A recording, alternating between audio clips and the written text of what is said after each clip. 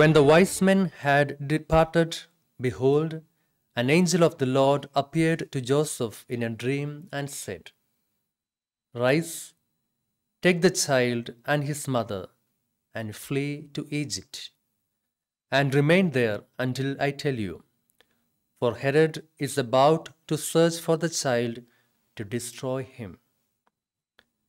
And he rose and took the child and his mother by night and departed to Egypt and remained there until the death of Herod. This was to fulfill what the Lord had spoken by the prophet Out of Egypt I called my son. Then Herod, when he saw that he had been tricked by the wise men, became furious, and he sent and killed all the male children in Bethlehem and in all that region who were two years old or under, according to the time that he had ascertained from the wise men. Then was fulfilled what was spoken by the prophet Jeremiah. A voice was heard in Ramah, weeping and loud lamentation. Rachel weeping for her children. She refused to be comforted because they are no more. The Gospel of the Lord.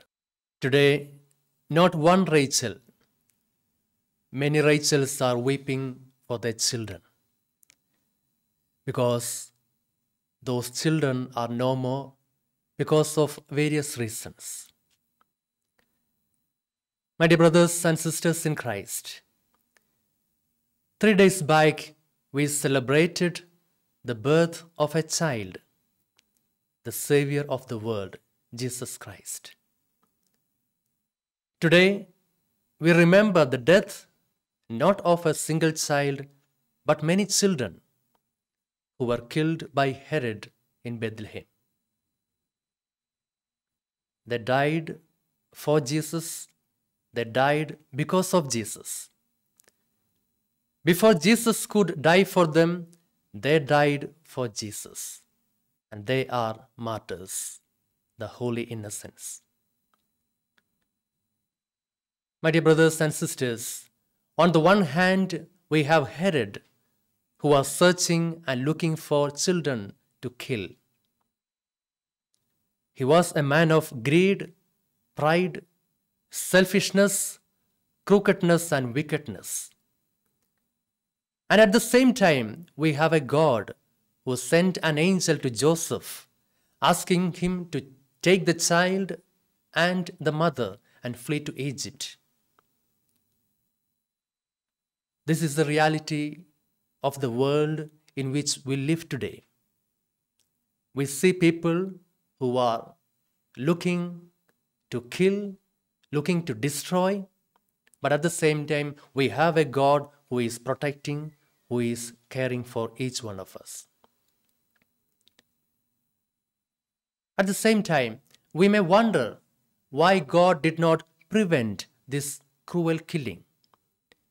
God could have intervened and prevented this murder.